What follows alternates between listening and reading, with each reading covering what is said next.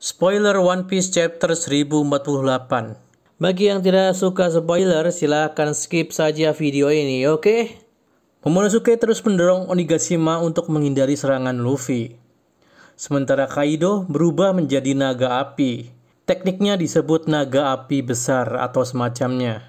Dengan wujud naga api ini, ketika tubuhnya menyentuh tanduk Onigashima, seketika tanduk Onigashima meleleh seperti mentega. Kemudian Luffy menggunakan serangan yang disebut Gomu Gomu no Bajrangan atau pistol dewa monyet. Sementara Kaido menggunakan serangan baru yang disebut Soryu Kain Hake. Kemudian adegan berubah ke bagian dalam kastil. Di sana samurai ingin Kaido dikalahkan.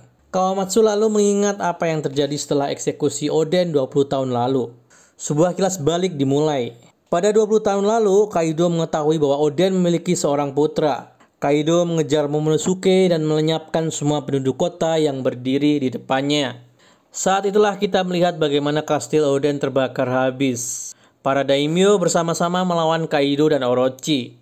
Sketsa masing-masing daimyo, mereka adalah Tonoyasu dan tiga samurai yang Yamato temui di gua, termasuk Shimotsuki Ushimaru. Mereka semua dikalahkan.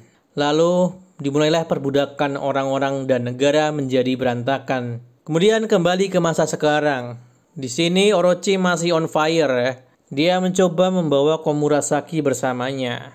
Lalu kemudian Denjiro datang dan memenggal kepala Orochi. Lalu diperlihatkan lagi di mana orang-orang membuat permohonan melalui lampion yang sudah terbang di langit. Beberapa isinya adalah semoga Orochi menghilang atau aku ingin melarikan diri dari neraka ini.